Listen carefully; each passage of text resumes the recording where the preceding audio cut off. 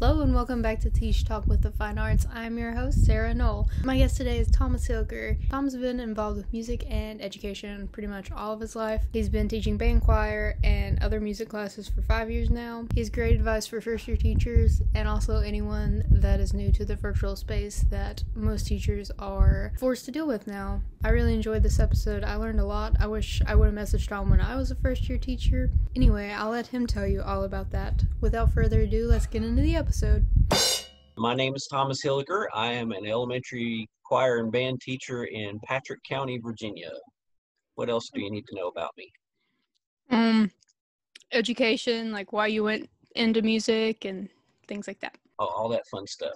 Yes. Um, I went into music because of my high school band director. His name was Dr. Jack Scott, and it it was just one of those one of those kids that just needed a place to belong, and I found it in band. And Doc used to just encourage me at every turn, and he let me do things that didn't usually let other students do, just so I could have the experience and get me ready for college. and now I can't talk, so you know it's all good. Don't need a voice for a podcast. No. Um, yeah, but everything, everything in my life has e- come around to either teaching or music.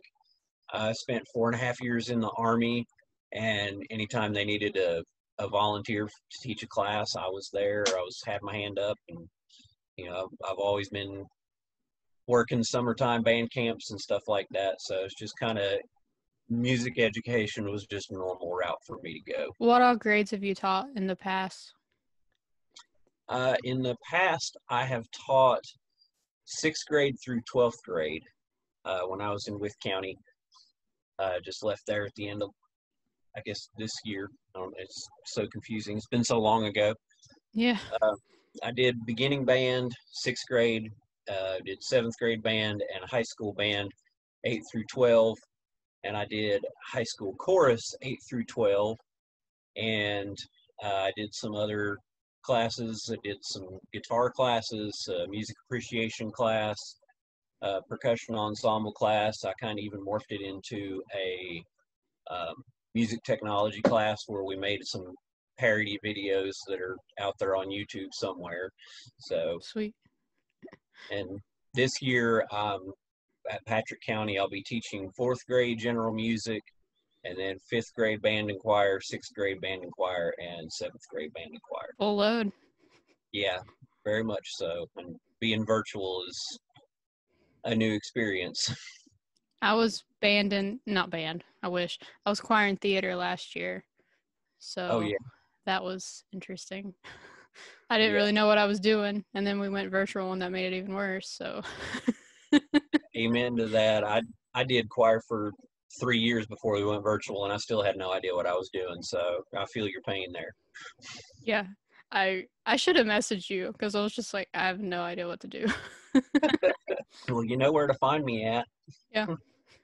That's true. I'll know next time if I ever have another choir class. Yeah, it's it's definitely a choir itself is a new experience, but man, teaching online is just still trying to wrap my head around it. so like you use like Google Classroom. Yeah, um, I got lucky because in Wythe County we used Google Classroom, so that's what we used after the shutdown in the spring, and uh, Patrick County uses that as well. So I was able to transfer a lot of my resources over, so that was a big help. That's good. Yeah, and I've I fell in the bandwagon. I'm sure you've seen the Facebook group of the Bitmoji for the classroom teachers. So I've, I've fallen into that trap, and I've got a virtual classroom and everything. So it's been a lot of fun setting that up. Yeah. It just takes forever to get it set up. yeah, I I bet. But man, if I end up teaching, I I may make a Bitmoji classroom. You should. It's fun. I can help you with it. Okay. Sweet. Did you ever do like virtual teaching or learning or anything before COVID? Like at all? Um, no, actually, I hadn't. Um, I'd never even done any online private lessons. Everything's always been face to face with me, so it's just been a, a brand new challenge. I know you use Google Classroom, but did you have to do like any like Zoom or Skype or anything? Um, we did a little bit in Wythe County with Skype at the end of the year, and Patrick County now is all Zoom. So that's, Mm-hmm. that's what I've been doing all day. So even now, here I am on Zoom. So I'm getting familiar with Zoom really quickly. It just has an easy record feature, and I just have to like hit a button and edit it a little bit, and that's all it is. Yeah, it's pretty great because you know we can we're recording our lessons. That way, Mhm. if there's class conflicts, you know we can just post them into Google Classroom, and the kids still have access to whatever they missed because they were oh, in another that's class. nice. Yeah. Yeah, it's it's a really great setup. Do you have any like hardware, like microphones, or do the students have any microphones or anything? Um, all the students in Patrick County are actually one to one, so they all have Chromebooks. Okay. Yeah, I've got a, a Chromebook through the school, and I've got my personal laptop here. I've got some recording equipment, so I, you know, I could have looked extra fancy like you, but um, I haven't really seen the need to use it so far. Uh, Yeah. the computer audio picks up everything. Um, I use uh, Filmora Wondershare for my Mhm. video editing, and you know I've just been recording stuff right off of the webcam. I've uh, been you know reviewing some oral warm ups with my choir kids and stuff like that. And honestly, the the computer microphones have picked up everything just fine so far. How long have you been back? Like in the classroom? Uh, we were supposed to start on a hybrid schedule last Tuesday. Mm-hmm. Uh, so we'd have an A group of kids and a B group of kids. Uh, a group would have been Monday, Thursday, and then Tuesday, Friday would have been the B group, with Wednesday reserved for online stuff. Mm-hmm. But um, the Friday before, the school board actually met and decided to go all virtual. So they they they didn't really push the start date of school back. So hmm we still technically started on Tuesday, but it was more to just, you know, get kids up to speed in Google Classroom that maybe haven't done it before, get the parents familiar with everything, get everybody into the classrooms. So last week was just kind of a, a transition phase for us. We actually didn't start our uh, online learning until today. So hmm Yeah, West Virginia pushed school back until like September 8th, I think. yeah, a lot of schools have done that. Wythe County actually did that. I've you know I've still got friends there, of course, and Mm-hmm. they've they pushed theirs back to around Labor Day, and a lot of schools have done that. Um, one of the things that came up in our board meeting was some kind of a, a contractual disagreement or something. You know why they couldn't push our start date back. So you know, it is what it is, and we'll we just kind of not really rush to get everything done, but we had a Mhm. weekend to get everything ready. Shoot. Think as of now, they're doing like Monday, Tuesday for one group, and then Wednesday's going to be like cleaning and online, and then the other group's going to be Thursday, Friday. when I left Wythe County, it, it took forever to find anything, you know, just, and I just assume because, you know, everybody's afraid to leave because nobody knows what's going to happen. Mm-hmm. It actually took me almost all summer to find this job in Patrick County. So as the worst part about it is that me and my wife Ashley had just bought a house last year in Wytheville. Oh So- man. Yeah, but you know, I, I got a little lucky because the closest school in Patrick County to me is uh, Meadows of Dan Elementary, and all I have to do is drive there, and then they're giving me a county car to do the rest of my commuting whenever, if ever we go back to live instruction in person. So Yeah. pretty- pretty good deal. I, yeah, the pandemic, man, it's it's crazy at how you know even younger teachers. You know, this is only going to be technically year number five for me, but really year number six. Um, but you know, younger teachers than me are leaving the profession like right and left, and the older ones that are getting towards retirement, it's it's crazy. So, you know, getting certified would be great, but if you've got the background, I think you could probably find something or provisional, you know, something. Let's go ahead and go to post COVID. If there ever is a post COVID, what do you think this coming year looks like? You obviously know what this part of this year looks like, but what about like in the future, if and when there's a vaccine and yada yada yada? Me personally, I hope it gets better. You know, if they can find a vaccine, I think it'd be great. But if the past has taught us anything, that not everybody's going to want to take it. Mm-hmm. So, you know, I think I think that's going to have an effect on it. Um, but I, I'm hoping that we can get somewhat back to normal and get back to in teaching class, uh, and you know, just get back to the face to face with the kids because you know I'm I'm on a whole new set of kids this year, and I've only got to interact with them through a computer screen so far. Yeah. And it you just lose a lot. I mean, I I have a, I don't you probably remember I have a, a pretty wild personality when I'm teaching and stuff like that. But I think it's even hard to convey that over a video. You know, if kids are just watching a video or watching a recording or watching a live session, it, it's kind of hard to pick up those subtle nuances. You know, I mean, they can see me from here up, uh, unless I scoot way back. And you know, there's a lot of body language, and it's body language for them too, as to whether or not they feel comfortable with you. So I, I really miss the the human interaction, you know, the one-on-one, face-to-face stuff. So I really hope it can get back to that. Um, do I think we will? I. It's hard to tell, honestly.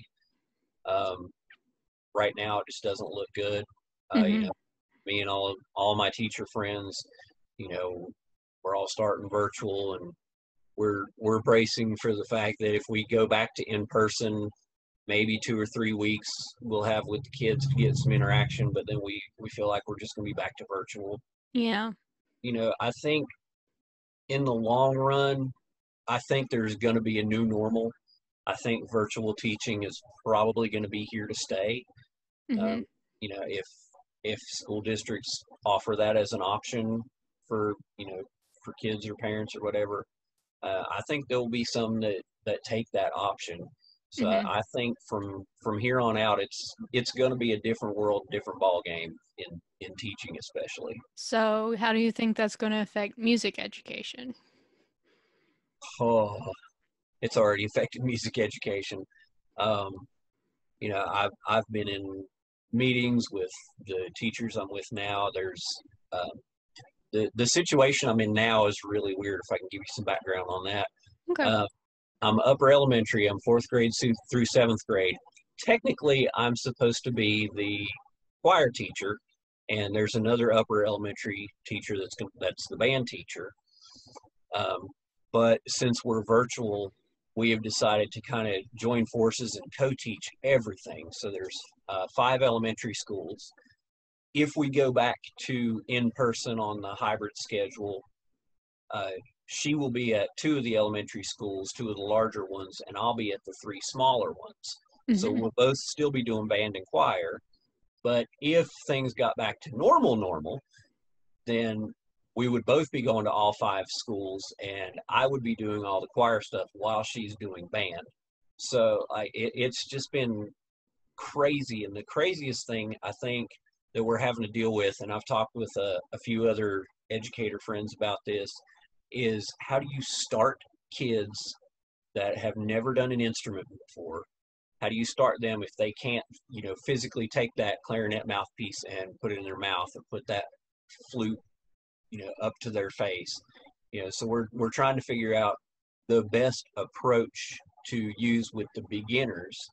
And then you know we're we're going to have to do a virtual instrument rental night if we can you know kind of focus you know on what kids want to do what or what kids are capable you know because it, it goes back to that in-person thing. You know when you're trying out kids on instruments you know everybody's got a different face everybody's got different whatever and you know everybody not everybody can do what they want to do just because it's they're physically not capable of it so yeah.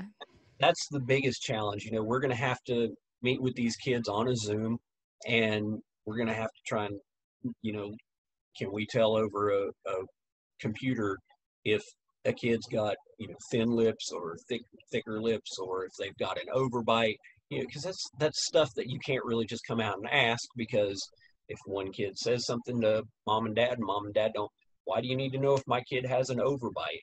You know, Yeah.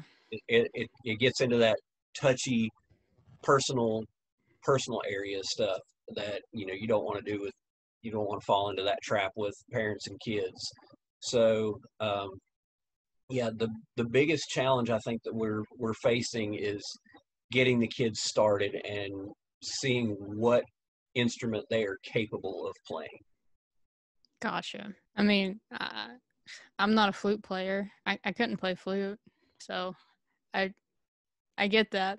Like, yeah i mean how would I, know if I didn't try it? Yeah. I mean, yeah, we could be like, okay, uh, do you have an empty bottle? Then try and blow across it. You, know, if you can make a sound, yeah, you might have a, a good shot at doing flute, but if you want to play trumpet, you can't really, you know, buzz your lips into a bottle and tell if they can play a trumpet or not. Yeah. okay. So yeah, it, it, it's just that part of it is is going to be a beast. I think. I think that's going to be the hardest thing for all music education because you know you know how kids are. You start them on something. If they're having trouble with it, they're not going to want to do it. Mhm. and- You're going to lose kids because they don't think they can do it when really they just needed a different instrument in their Yeah. hand. So I think that's that's going to be the number one thing that affects, um, especially you know beginning band. So, choir, like, are you doing them like one whole Zoom call, or are you doing like individual parts, or how are you doing that? Um, the way we're planning on doing it right now is we're especially you know this fall we don't know what's going to happen, so we're we're planning on doing a virtual concert. So we just get the kids to sing along with the metronome or recording or whatever, and get them to send that to us, and then you know with the you know of course the privacy stuff they've got to sign the and parents have to sign the agreement to be in a virtual choir, you know, because we'll we'll put it out on the internet for everybody to see, and you know, you got to make sure everybody wants to be seen and all that stuff. So I think that's going to be a little easier. Mhm. Um, as far as the regular teaching of choir, uh, they'll be in one class. Uh, I'm actually lucky because the the co-teacher I'm with is a uh, is a female, so um, and she's also a wind player. So for choir, she's going to take the female voices or the higher voices, I should say, and I'm going to take the the lower voices. So you know uh, they get that that little bit of. I can go high when I need to. I have a fairly decent falsetto, but I don't like using it a lot, and kids Yeah. don't like hearing it. so you know, um, so while we're virtual, we're going to split. You know, high and low for us, and then where she does wins, and I'm a percussionist, you know, online lessons I'll have my my band class online will be full of just the percussion kids, so I can focus on them. And we've also set up um, a, about an hour and a half each day for each of us that kids can sign up for private lessons with either one of us, regardless of what instrument they're on or what part they're singing. So That's cool. Yeah. You all have it worked out pretty well. I'm not gonna lie, she's got it worked out. I just kind of fell into this, and I'm just I'm riding her coattails, and I'm I'm doing some tech stuff for us along the way. But she's she's the mastermind behind this. So Sweet. Let's just go back to like if you have any tips for beginning like band and choir teachers cuz I like I said at the beginning I was lost. Like I just I didn't know what to do and I any tips you have. I I'm gonna base these tips off of where they're at. If you're still in school, you know, if you're working towards that music education degree, if you've never done choir before, get into your school choir. Mhm. If not, if you're so inclined, find a church, join that choir, or Okay. find a community choir. You know, find some kind of choir that you can do because I was I never had it in my schedule when I was at college to be in choir, but luckily one of my teachers um, hooked me up and got me a choir director spot at a church, and it, it was eye opening. You know, and you flip it if if you're not in band, maybe not join band. It might be a little bit more difficult to just join band in college, but you know, Yeah. do a little more than just take the method classes. You know, really dig into it. See if you can, you know, get into some um, some private lessons with the professors or whatever. Even if it's just one semester, you'll learn a lot more, and you need to know a lot more. Uh, if you've already started, if you've got the degree, uh, I got lucky. You know, I'm dual certified instrumental and vocal K through adult, so you know I I can do anything which kind of puts me in a good spot, you know, especially landing a job like at Patrick County where I'm supposed to be doing choir. I'm Mhm. already certified for it. Um, if you're not dual certified, get it. I think it's a huge help. If you're just starting out as a teacher and you don't have experience in one or the other, like I say, you know, still not too late to find a group uh, Mhm. find some other professionals, build a network, build a network. Okay. People you went to college with, you know, voice people, instrument people, whatever. Keep up with your old professors. You know, I, still reach out and ask questions all the time. Um, find a mentor wherever you get hired at.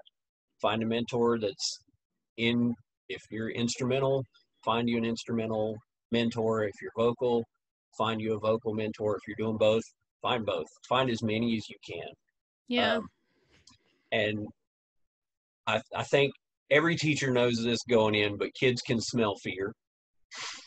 So I've never been very comfortable with my my voice, and you know, especially when I'm singing. Uh, Mhm. My my keyboard ability, piano ability, is bare minimum of what I need. So you know, keep brushing up on those skills.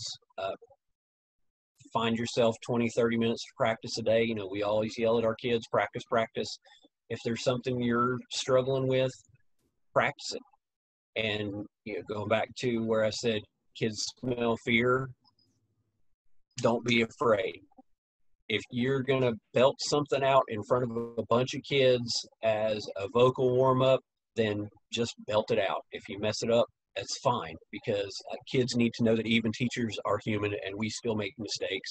I, you know, I make fun about myself all the time. I, I was I was recording a warm up video for my kids today, and my fingers got twisted and tied up, and it sounded like a cat stepped on my keyboard while I'm recording this. And you know, I just kept singing and made a face about it. It's like, oh, that's, that's funny. And you know, I, I could have easily gone back and edited that out or recorded it again so the kids didn't see that but they're going to see that i mess up while i'm one of if when we go back to live uh, so you know just don't be afraid uh, don't be afraid to make mistakes don't be afraid to ask for help if there's something you need to know about your school find any teacher in that school and make friends uh, my first year teaching as like the band director at my the high school I was at, I buried myself in the band room all the time. hmm And one of the best pieces of advice I got from another band director was get out and meet the other teachers. You know, go to lunch with the other teachers. And I, you know, I've made some great lifelong friends by doing that. And, you know, it gives you a sounding board, you know, and you get other teachers' perspectives about kids. So, you know, just d- don't be afraid to, to ask anybody for help, anybody and everybody. That was Yeah. a lot of advice for one question, wasn't it? No, that's that's good. I mean, uh, last year i i i could use all advice anybody could have given me given me. I was just Uh, It, it's it's scary, and you know, even even being an experienced teacher, you know, I, I put four years in in Wythe County, and I'm in a brand new brand new county, brand new school system, brand new type of teaching, uh, brand new age group of the kids. So I, I'm basically at year one. Um, so you know, I, I and again, you know, I'm not afraid to. I've learned already that I'm, you know, uh, English are difficult. I'm already asking teachers for advice about what to do, and you know, some of these teachers, you know, I'm I'm I'm older because I got into the profession really late, mm-hmm. but you know I I've always been one to mess around with the technology and stuff. So you know I was I was always doing stuff with Google Classroom. Uh, I've I've made websites on Google sites before. Um, you know the Bitmoji stuff. I'm just having a blast and playing around in Google Slides. I made so many slideshow presentations, and then you know audio editing, video editing, all that tech kind of stuff mm-hmm. in the classroom in the music world. I, I, love that kind of stuff. And a lot of the teachers, uh, you know, there's a, an art teacher that is more or less brand new to Patrick County. She's in her 30th year of teaching, but she's in her second year of Patrick County. And she's basically in year one because of all the technology. Yeah. They they've come to me for for help with technology because I wasn't afraid to put myself out there. You know, there was uh, a couple of there was a fine arts uh, Facebook page. There was a elementary band Facebook page and an elementary choir Facebook page. So one of the things I did just for fun for me to blow off stress of eh, trying to prepare for all this online learning is I went into Google Sites under my new email in Patrick County and I just did a really quick mock up of a fine arts site and I, I sent it out to the other teachers. I was like, hey, you know, what do you what do you think about this? I kind of ran it by my my co-teacher, uh, Miss Stevens, first, and I was like, hey, what do you think about this? Do you think people would want to use it or it'd be helpful? And she was all sorts of excited. And when I sent it out, I got some great feedback. And then they were like, oh, this guy knows how to do some tech stuff. Let's let's get him to help. You know, so I've, we've done some uh, just Word type documents of meet your teachers. So you got to put a picture on there and a little blurb about yourself and all this kind of stuff. And, you know, there was one that was having a little bit of trouble and she's like, Hey, can you help me do this? I'm like, sure I can, you know? So, you know, just always be learning is, is a, a huge piece of advice. Uh, whether it's tech stuff, because you never know what you're going to face. So, uh, always be learning, don't be afraid to to help. I don't even remember what the question was, but this is where I ended up. So, general advice. advice, yes. For new teachers. Yeah. So, I had an issue with this, and I think that's why I had so many problems. You were saying like they smell fear. Yes. And how do you go in on the first day and like establish yourself as the authority figure like how do you know like where to be like nice and where to be like authoritative i guess that's the word i'm looking for. Yeah. Like where do you need to be on the first day? I think for me just because of my personality uh, I, I'm a little less authoritative than you know the core teachers, but I think with music and arts, I think we have that freedom to be mm-hmm. a little bit more relaxed and you know open and easygoing with the kids. Um, but yeah, if if you don't set the tone right out of the gate of this is how it's going to be, they they will eat you up. In my opinion, I don't think it's possible, at least for me, to go in on day one and boom, this is how this class is going to be. Mm-hmm. Because, mm-hmm. You know, one, music is supposed to be fun and you want the kids to enjoy it. So, you know, go back to that whole, that's why I'm a little more relaxed and laid back.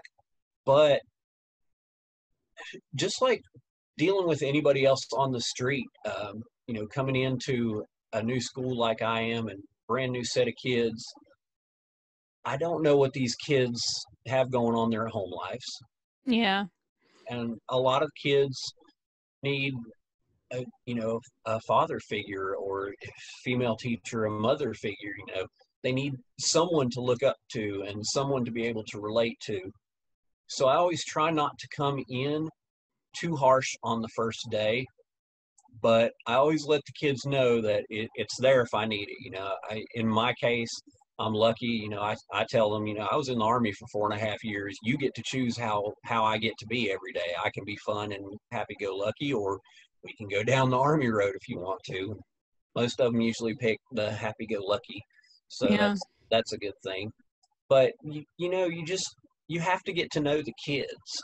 Uh, you, you need to get to know what's going on in their home life because you know if if i'm constantly on this kid because they're falling asleep or or whatever that's that's probably not going to help them because for all i know they they have to sleep on a floor and don't sleep very well you know so i, I always try and be mindful of that when i'm setting the tone for the disciplinarian side of of my teaching so yeah, i just try and keep an open mind and just just get to know the kids and mm-hmm. their situation so we were talking about like, well, you were talking about like about me blurbs and pages and like slideshows. Do you recommend that for like all grade levels? Like, could I do that for high school and they'd be like, okay, or would they be like, ugh, a slideshow? Um, we, I had success with the slideshow stuff in in high school with the group of kids, and I, I think it's just going to boil down to you know what the personality of the kids. Yeah. You know, not every kid is going to like it. Not every kid thought, you know, my slides were funny, but, you know, I always tried to include something that would break the monotony of the class, especially if it was going to be a long lecture and we're just clicking through slides and here's this information, you know, and just try and present the information and the slides and put some fun stuff on it. Um, I think the low level, the more fun stuff you can put on it. Because mm-hmm. you know, even high school kids, if you put this funny little, uh, whatever little video segment on there, you're going to get the eye rolls from the kids, and some of them are going to chuckle. So I I I'm a big fan of technology, and especially in the classroom. I think it's great, and a lot of these kids are, you know, especially in kids in high school now, they've grown up with a phone in their hands. Yeah. So they they understand the technology and they they get that aspect and it's easy for them to relate to the technology. And I I think if you're a teacher and you're not using technology to your advantage, then you're doing the kids a disservice. I had that trouble because I wanted them to use like their Chromebooks because they have Chromebooks as well, but I also they would misuse it I think. Like they just wouldn't be listening to me on their Chromebooks and yada yada yada. So I I just had trouble finding balance with everything. I think. Yeah, that, that's tough. You know, you, it's it's the same whether you're using technology or class or or not. You're going to have the kids that aren't paying attention. Um, but you know, and they there are some programs out there. Uh, oh gosh, I forget what it was called that there was a program we used in in Wythe County while the kids were online. You know, you could the teacher was logged in and you had all the kids in your class and you could see everybody's screen on your screen. So you knew if somebody was off on YouTube or you know playing Candy Crush or whatever. I don't even know what kids play these days anymore. But mm-hmm. it, that, that was a great program. But I think that's that's one of those things that the school district has to purchase or whatever. So you know, if you don't have that, how do you police the the kids? Mm-hmm. And it, it's just going to boil down to whether the kid wants to learn or not. Yeah. So, you know, just my opinion, but no matter what you do, you're not going to catch all the kids. So you know, I I think you got to mix it up. You know, we're it's pounded into our heads in school as teachers. You know, teach to the kids mix it up. Don't do the same thing the same way every single time. You're going to lose the kids' interest and all that kind of stuff. So, you know, mix it up. Use technology. Don't use technology. Keep them on their toes because you know if they don't know whether or not they need their Chromebook in your class or not, they're going to bring it. Mm-hmm. If they don't need it, then you know, good for them. They don't have to log in. But you know, um, yeah, I think take advantage of every opportunity you can with the technology and if you have those few that aren't paying attention to you or off in la la land, you know, you got to deal with them. You can't just let them get away with it. But, you know, it, it kind of goes back to that whole thing of being open and understanding to the kids' home life again, too. I think Mhm. that that's one of the most important things you can do as a teacher is understand the kids themselves. You know, they're not just a, a body in a seat. You know, they've got a life outside of your classroom. They've got other homework in, uh, from other classes. They've got other things. You know, I, I had like three or four different Zooms today, and by the time my fourth one I had, I had this poor little kid was like, yeah, this is like my sixth or seventh Zoom today, and I, I I understand we've got to teach the kids, but you know, having a kid on Zoom all day long, they're going to lose focus. They're going to lose attention, no Mhm. matter what subject they're in at the end of the day. Yeah, it's like that when you're face to face with the kids. Yeah. So, you know, I, I, I think there's a, a delicate balance point between technology and no technology. And unfortunately, right now, we're, we're stuck in technology. So I think we, we as educators just have to do our best to use technology the, the best way we can to reach these kids. Right. I had trouble with lesson planning. So we weren't on block schedule, so we had seven periods, so like 50-ish minutes a day per class. How do you split that up into where they're they're not just singing all the time or do they sing like certain days a week and do other stuff the other days a week? Like how do you split that up? Um, oh gosh, you would have to ask me lesson plan stuff because that was that's like my Achilles heel is lesson planning. But um, for me, what works is I would have a kind of a unit plan. So you know, right now we're we're looking forward, looking ahead in our choir class to probably, I would say Veterans Day is going to be our first big thing. They usually want choirs or bands performing at Veterans Day stuff. Mhm. Uh, but you know, if I start today with Veterans Day music, by the time Veterans Day rolls around, these kids are going to be so tired of it. Yeah. So I, I think you've got to mix it up. You know, I I personally think if if you're in a choir class, you need to sing every day at least something Mhm. If you're in a band class, you need to play something every day. So, uh, what I do personally is, you know, the first 10 or 15 minutes of our class, we had, uh, I'm, I'm kind of going off of what I did in Wythe County here. We had 45 minutes for choir class. So the first 10 or 15 minutes, it was, it was warm ups. We're singing.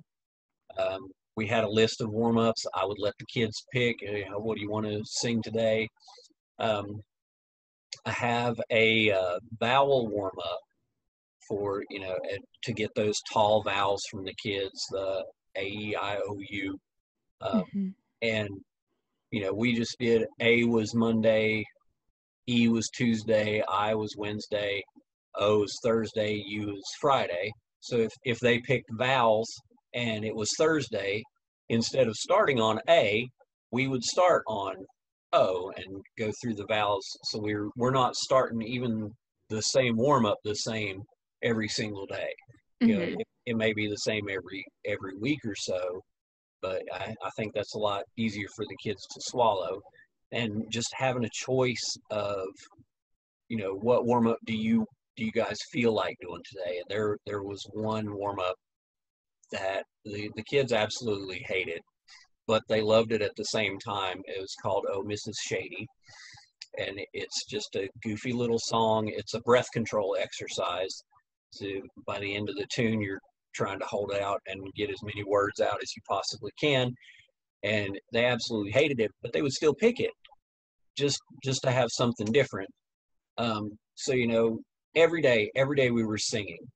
Um, I started incorporating bell ringers uh, into my class, which was a, a phenomenal step forward for these kids because they didn't really do a whole lot of theory with the teacher that was there before me. Uh, so you know, I'm I'm introducing these kids to theory. So our bell ringer, you know, I would print out a worksheet and you know label these pitches using your solfege, you know, or whatever. Um, I had a, going back to what high school kids would enjoy or not. I actually printed out a set of the solfege hand signs with minions on. The, the minions were giving the hand signs on. Oh, that's little cool. post- Yeah, and I had seniors in high school that absolutely loved it, and they would stare at the poster while they're doing their solfege stuff. So you know, it you may get lucky and hit a nerve on something like that, but you know, um, having these kids label pitches is you're in what key you know what's what's your time signature? What's your starting pitch? If this is your starting pitch whereas me? You know just introducing simple theory like that was just uh, it, it blew their minds at first but you know that way they weren't singing the whole time. They weren't getting beat over the head with the same music over and over. You Yeah. know, even in choir you know we wouldn't do more than three or four songs and they enjoyed it and you know it's they're not constantly singing because you know we had three four different parts depending on how many kids and the, the voices and all that kind of stuff. But um you know you you can break it down okay i need to work with the altos right now so everybody else can just kind of chill for a minute um but yeah i i don't I definitely see an advantage for singing every day at least just to use the voice so you don't lose it but I also think you need to find that balance point where you're not beating the kids over the head with the same music. You know, um, looking forward where I'm at right now. Yeah, we're going to look ahead to Veterans Day, but we're gonna we're gonna start with some basic theory, and we'll do a little bit of the songs here and there. And Mhm. as we get closer, that, that's when you got to start beating them over the head with it, because you know the the consistency of the the singing of the songs and making sure everybody's on their right part and all this kind of stuff. You know, it, it's it's got to be there. So I think it's a a very fine line that you've got to walk. But and if if you pay half attention to any of your kids, you're going to tell if they're getting bored and frustrated with whatever they're doing. So if you see that, boom, change it up. hmm Yeah, I had trouble with that. had a lot of trouble. Yeah. it, it took me a little while to to learn that like i when i was first starting in you know marching band season my first year i'm like we gotta play we gotta play we gotta play the music gotta play the music it's gotta get better it's gotta get better and you know by the time the first competition rolled around the kids were just like oh i'm so tired of this music already so you Mhm. know that that was kind of my my eye opener. I'm like, oh my gosh, I'm I'm killing these kids, and they're going to want to kill me. Mhm. So you know, I we would we would take time every once in a while.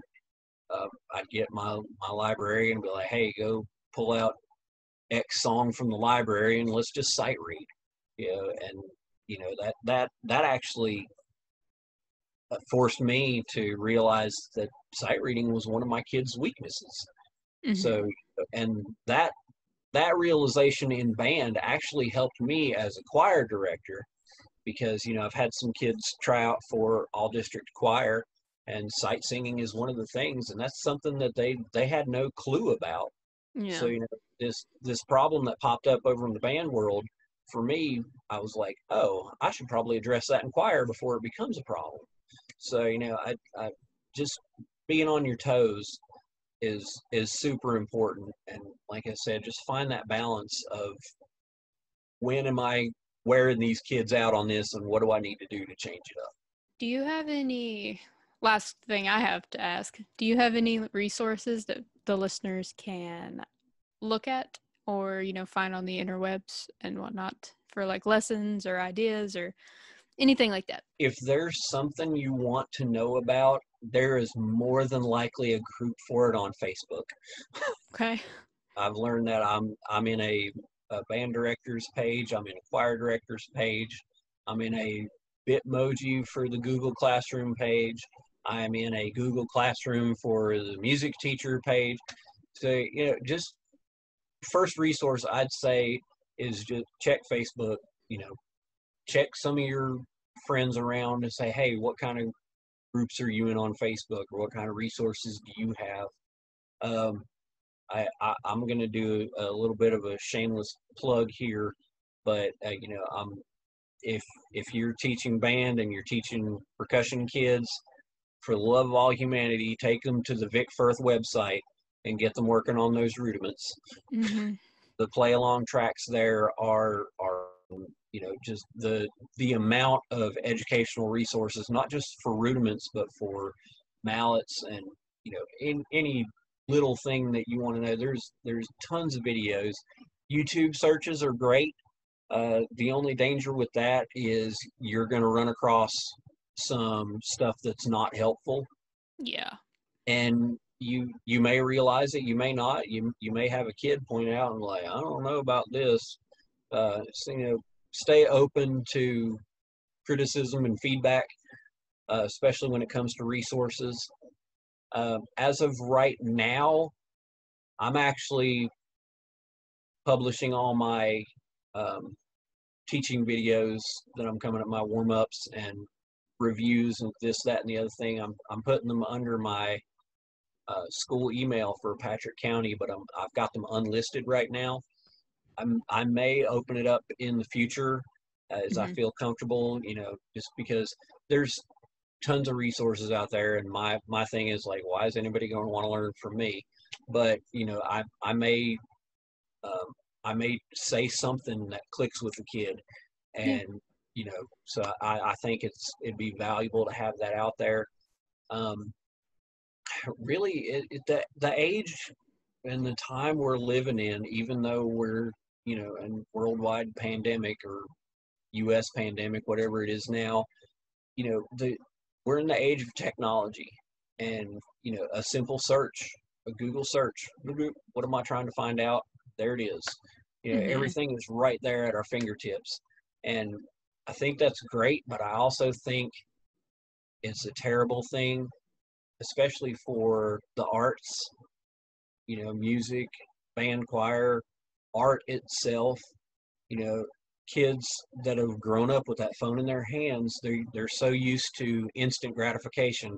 Oh yeah, what's the square root of pi? Oh, there it is. You yeah. Know, they they they don't want to they don't need to work for anything. So something like playing an instrument or you know training your voice to be a a good singer is something they don't want to do because it's hard work.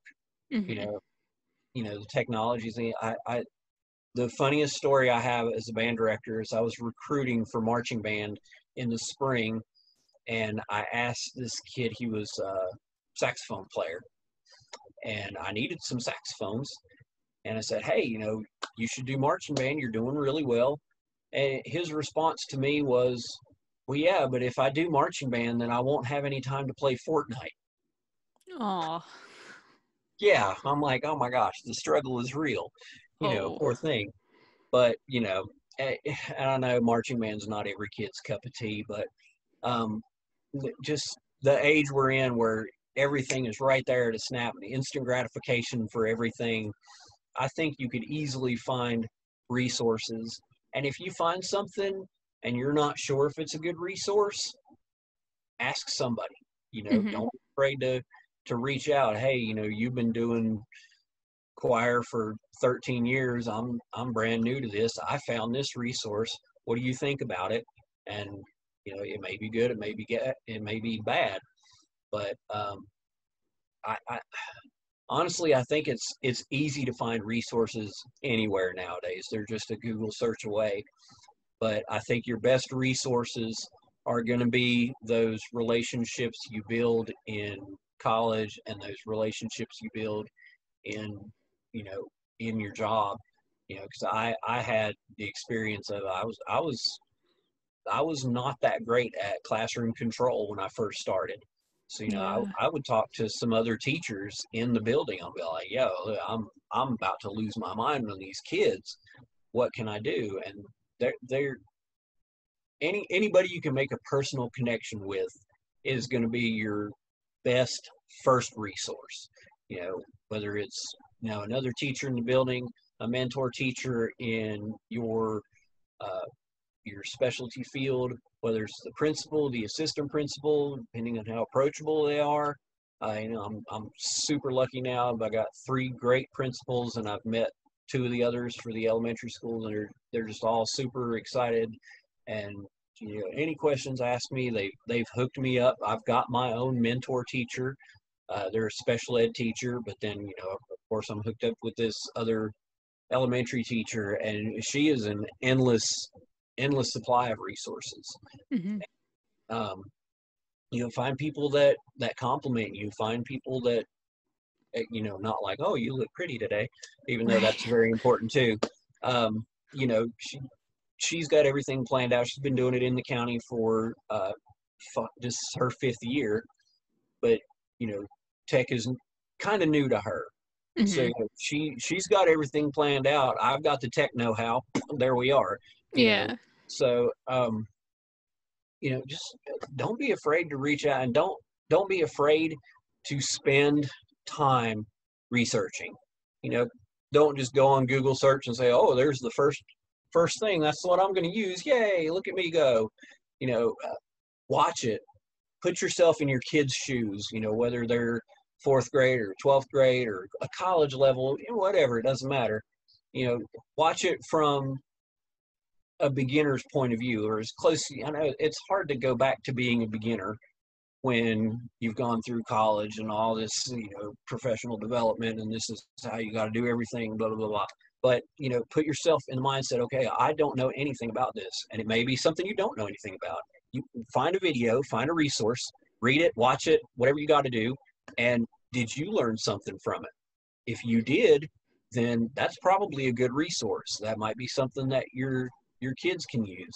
If you show it to the kids and they don't get it, watch it again and see if you can explain it differently. You know, be, become the teacher there. Take that information and shape it in a way that you can deliver it to your kids and that it will make sense to them. So, yeah, I, I honestly believe that resources are everywhere, but go to people 1st mm-hmm. And if mm-hmm. that, you know, don't be afraid to find something online and and ask about it. Say, I don't know if this is good or not. Can you tell me? Even if you know, if you're if you can't get a hold of another music teacher, so I found this great video on teaching somebody how to sing, but I've got nobody to bounce it off of. Go find your English teacher, your business teacher, gym teacher, whatever, whoever. Say, hey, watch this video for me. Does it does any of it make sense to you? Did you learn anything from it? And it just you know, don't be afraid to ask anybody for any kind of help and definitely don't be afraid to bounce resources off of anybody and everybody. Do you have anything to add that we haven't talked about? That's a good question. I would add, you know, and I kind of touched on this in one of the earlier questions, but if you're going to be a teacher, eh, whether it's virtual, in person, whatever, you know, there's information that the kids have to know, but make it fun for the kids. Mm-hmm. It, you know, record yourself while you're teaching. It, easy to do with Zoom now. But Even if you go back to an in-person classroom, record yourself and you know watch it from a student perspective. Did I learn anything from me? Or oh my gosh, that was so boring. What can I do to make it more fun? don't be afraid to put your personality into your teaching. Um, I think that's one of the things that made me successful. Uh, you know, when I when I took over the the band program uh, that I, I started at, I had like 17 kids, and within three years, we doubled in size. Mm-hmm. And I think a lot of that was largely because, you know, I just put myself out there. I wasn't, or we got to play this scale and blah, blah, blah, blah, blah. This, we're not going to have any fun. You know, I wanted the kids to have fun mm-hmm. because mm-hmm. it's supposed to be fun. So, you know, no matter what you're teaching, you know, whether you're teaching English, you know, if if you're teaching English and you've got kids learning about Romeo and Juliet or whatever, and you're reading a passage out of it, then throw in your worst Romeo accent that you possibly can just to get the kids laughing because that's going to break the tension and it's going to help refocus them. So, you know, yeah, we have to be educators and we have to be disciplinarians, but we don't have to be those people all the time. So I say if you're going to be a new teacher or even if you're an experienced teacher and you haven't done this yet, put your personality into what you're teaching. You know, mm-hmm. you be amazed at the results. You know, I I've still got kids from Wythe County. I, I, I ran into a group of kids, two kids, not really a group, I guess, but two kids that I had taught in in Wythe County here and when I was grocery shopping the other day and they they even in this midst of this pandemic they ran up to me and gave me a hug they said oh my gosh we miss you so much and it's just not going to be the same you know, and I know that's they didn't do that because I taught them how to you know sing carol of the bells during a christmas concert or i i taught them they did that because i made a connection with them Mm-hmm. You know, I wasn't afraid to show them my personality. I'm goofy. I love to have fun. So that that personality is going to show through in my teaching. And I think the more you do that, the more kids are going to be responsive to you and they're going to be more open to, you know, if if there's something we have to change, um, you know, if, if, you're taking over a new job, um, definitely if you're taking over a new job, don't go in guns blazing, changing everything. Okay, find out what's been working and go with that and make slow, gradual changes. Mm-hmm. If if your personality is in it and these kids know that that you're there to do what's best for them, whether you're their teacher or not, then they're going to be willing to accept those changes you know, because I, I made some changes over the time I was there, and I'm sure over my time in Patrick County, there's going to be some changes that I want to make, and I've I've already started um, injecting my personality in. You know, we made these get to know you videos, and mine was pretty goofy. Uh, I was I hopped in on a Zoom call with the the elementary band teacher today, and she was gonna, you know, finishing up her little spiel, and she wanted me to say something about myself, and she, it was it was worked out great because she had the Zoom set up to where I was automatically muted once she let me in. You know, she had a waiting room and all that stuff. So she's like, "Well, I'm going to let Mr. Hilliker say anything about you," and I'm I'm kind of pointing down here and the little microphone's there with the slash through it and she's like she's like oh you're muted. Let me unmute you. And as soon as she unmuted me i muted myself back. And i was like no. And she's like well are you gonna say anything? And i was just shaking my head. And the kids were laughing already you know so the i think it was only like 10 kids in the class. Mm-hmm. but you know those those 10 kids they've already gotten a glimpse of my personality. Yeah. So they know, you know, if they're going to take private lessons with me or if I wind up teaching them in choir or whatever, I think those kids already know that I, am a fun loving teacher and I think they're going to be able to relate to me. So I, I think the number one piece of advice that I would give is don't be afraid to let your personality, your fun loving side of your personality shine through in your teaching. Do you want to promote your Facebook or YouTube or uh, Instagram or anything like that? Oh my gosh, I've got all those things. Uh, my Facebook. Uh, I've got my personal page, and then I've also got my my page, uh, Dadpool Drums, or no, Dadpool's Diary. I had to change it because uh, I had three different pages I was managing, and I wanted to put them all into one. Mm-hmm. So I just came up with this new name. Uh, it's my I, I have three daughters, uh, and it's my middle middle daughter's fault that everything kind of revolves around Dadpool. Is that you know I've never been a real big comic book guy, but when the comic movies started coming out, I was like, yeah, this is awesome. And you know, of course, when Deadpool came out, I just lost my mind because uh, Ryan Reynolds was perfect for Deadpool. Mm-hmm. Nobody could have played it any better. So you know, I, I became a big Deadpool fan. Um, I started collecting you know, the six inch action figures and stuff. And I started doing dumb stuff with that. Uh, and, you know, my middle daughter just started calling me Dad Pool. And I just kind of took that and, and ran with it. So my Facebook page now kind of revolves around everything I do.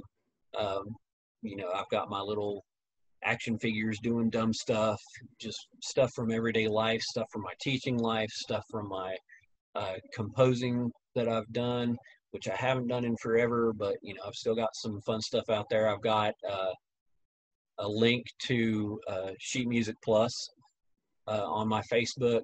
Uh, YouTube channel is the same. It's Dadpool's Diary.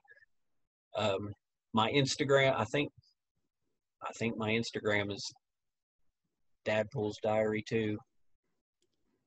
I think the only one I don't have is as that is my my Snapchat, and I just kind of use that for personal stuff. But Mm-hmm. um, I think all that stuff is is linked on the the Facebook page. So probably the easiest way to find me, if you want to find me there, would be go to Facebook, look up Dadpool's Diary. I've got a little over 100 followers right now. Uh, my YouTube channel, uh, I've had some fun with that. I had a lot of fun. It's it kind of came to a screeching halt when you know the the pandemic hit and everything shut down because I was doing a lot of musical type stuff and all my instruments were at the school and they weren't allowed us in the building. And then you know here I am switching jobs. So I haven't I haven't done much with my YouTube uh, but I want to I want to get back started with that. I've got some fun ideas. I actually did a, a virus hunting video on my YouTube channel when the pandemic first hit where I was going around the house and I was shooting my action figures pretending they were the virus and stuff so if you want to see dumb stuff like that, you you can definitely check me out. But I've got some cool ideas for some uh, music covers, uh, and I, I would probably say they're going to be unorthodox covers, um, not what you would be expecting. But I think it'd be be fun nonetheless. Um, and I, I think being in the situation I'm in now, you know, as a, being an elementary teacher as opposed to being a high school teacher with marching band and all this kind of stuff, uh, you know, I'd be up at six o'clock in the morning and I wouldn't get home until 9 30, 10 o'clock at night because of rehearsals and just getting everything organized. And, you know, now that we're virtual and I'm doing elementary and don't have that all that extracurricular stuff, I think I've I've got a chance to put a little more time into my my YouTube channel and I have a special friend that I met through YouTube and he's visited my channel and he's about due to make a return. And um, you, you'd have to check out uh, my channel to see who he is but he he's he's not here. He had to leave because of the pandemic he wasn't sure how he would be affected by that so but i think he's about due for a return Awesome. I will link everything in the description and show notes. So just be like a click away. That'd be awesome do you want me to do you need me to send you the links to all that stuff or Sure. yeah i'll i'll send you the instagram and youtube and facebook those are really my three my three big stuff that i promote my my dumb stuff with you see back here over my shoulder is my my publishing company it's called fat beats music uh, i've been gosh it's been 15 years since i started writing music and trying to put it out there Really? that's crazy. Yeah, 15 years. 2005 is when I started Fat Beats. Wow, I feel so old now, Sarah. Thanks a lot. I'm sorry. No, it's good. It's good. I love it. Yeah, You ready to stop this? I suppose so. You think you got everything you needed? I think so. Think so? Okay. And that is all for today's episode. Thank you so much, to Tom, for being on. I'll link Tom's profiles and everything in the description and the show notes of this episode. It was so much fun. I hope you enjoyed it as much as I did. Thank you all so much for listening, and I hope you subscribe and continue to listen to this podcast. I have been having a lot of fun with it so far, and I hope you've all been enjoying it as well. Thank you again for listening, and I will see you next time on Teach Talk with the Fine Arts.